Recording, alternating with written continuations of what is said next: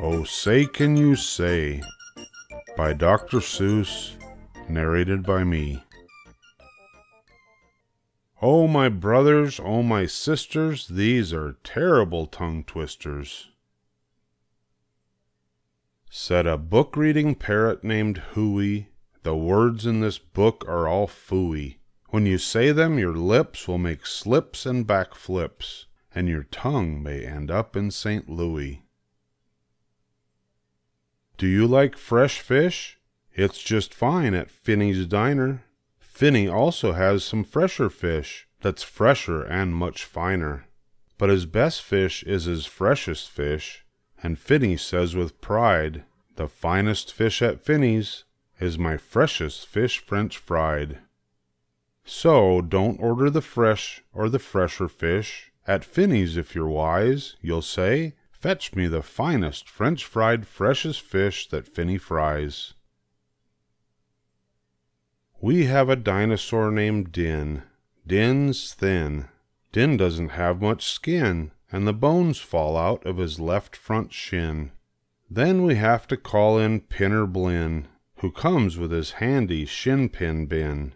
And with a thin Blinn shinbone pin, Blinn pins Din's shin bones right back in. Bed spreaders spread spreads on beds. Bread spreaders spread butters on breads. And that bed spreader better watch out how he's spreading, or that bread spreader's sure going to butter his bedding. Ape cakes, grape cakes. As he gobbled the cakes on his plate, the greedy ape said as he ate, The greener green grapes are, the keener keen apes are. To gobble green grape cakes, they're great. Are you having trouble in saying this stuff? It's really quite easy for me. I just look in my mirror and see what I say, and then I just say what I see. Now let's talk about money. You should leave your grox home when you travel by air. If you take 'em along, they charge double the fare and your grox must be packed and locked up in a grox box, which costs much, much more than a little old fox box. So it's heaps a lot cheaper to fly with your foxes than waste all that money on boxes for groxes. And what do you think costs more, a simple thimble or a single shingle? A simple thimble could cost less than a single shingle would, I guess so I think that the single shingle should cost more than the simple thimble would. Eat at Skipper Zips.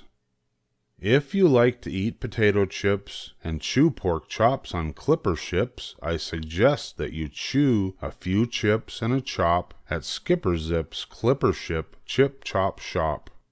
And if your tongue is getting queasy, don't give up. The next one's easy. There are so many things that you really should know, and that's why I'm bothering telling you so. You should know the first names of the Fudnuddler brothers, who like to pile each on the heads of the others.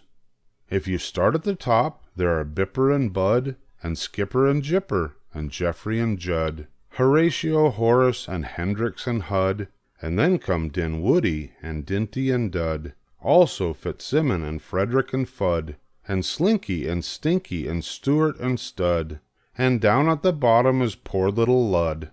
But if Lud ever sneezes, his name will be Mud. Quack, quack. We have two ducks, one blue, one black, and when our blue duck goes quack, quack, our black duck quickly quack, quacks back. The quack's blue quacks make her quite a quacker, but black is a quicker quackerbacker. And speaking of quacks, reminds me of cracks, and stacks, and sacks, and shacks, and schnacks. So oh can you say, I have cracks in my shack, I have smoke in my stack, and I think there's a schnack in the sack on my back. Upon an island hard to reach, the east beast sits upon his beach. Upon the west beach sits the west beast. Each beast beast thinks he's the best beast. Which beast is best? Well, I thought at first that the east was best and the west was worst. Then I looked again from the west to the east, and I liked the beast on the east beach least. Pete Briggs pats pigs. Briggs pats pink pigs. Briggs pats big pigs. Don't ask me why, it doesn't matter. Pete Briggs is a pink pig, big pig patter. Pete Briggs pats his big pink pigs all day. Don't ask me why, I cannot say. Then Pete puts his patted pigs away in his Pete Briggs pink pigs, big pigs pig pen. Fritz needs Fred, and Fred needs Fritz. Fritz feeds Fred, and Fred feeds Fritz. Fred feeds Fritz with Ritzy Fred food. Fritz feeds Fred with Ritzy Fritz food. And Fritz, when fed, has often said, I'm a Fred fed Fritz. Fred's a Fitz fed Fred.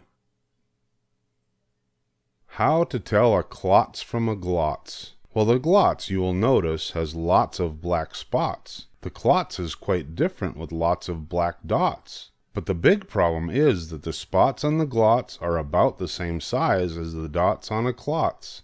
So you first have to spot who the one with the dots is. Then it's easy to tell who the klotz or the glotz is.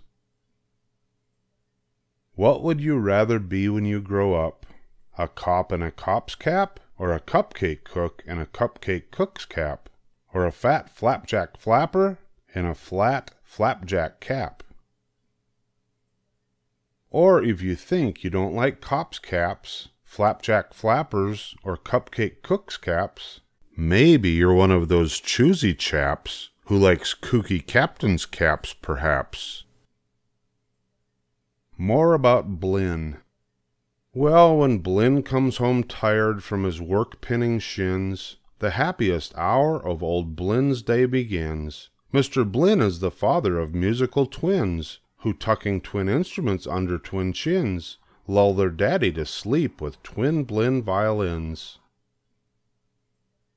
And, oh say can you say, far away in Berlin, a musical urchin named Gretchen von Schwinn has a blue-footed, true-footed, trick-fingered, slick-fingered, six-fingered, six-stringed tin Schwinn mandolin. Rope soap, hoop soap, if you hope to wash soup off a rope, simply scrub it with scrope. Scrope is so strong that no rope is too long. But if you should wish to wash soup off a hoop, I suggest that it's best to let your whole silly souped up hoop soak. In soapy coopers, super soup off hoops, soak suds. One year we had a Christmas brunch with Merry Christmas mush to munch, but I don't think you'd care for such. We didn't like to munch mush much. And speaking of Christmas, here are some great gifts to give to your daddy. If your daddy's name is Jim, and if Jim swims, and if Jim's slim, the perfect Christmas gift for him is a set of Slim Jim swim fins. But if your daddy's name is Dwight, and he likes to look at birds at night. The gift for Dwight that might be right is a bright Dwight bird flight night sight light. But never give your daddy a walrus. A walrus with whiskers is not a good pet, and a walrus which whispers is worse even yet. When a walrus lisps whispers through tough, rough, wet whiskers, your poor daddy's ear will get blispers and bliskers. And that's almost enough of such stuff for one day. One more and you're finished, oh say can you say. The storm starts when the drops start dropping. When the drops stop dropping, then the storm starts stopping. The end.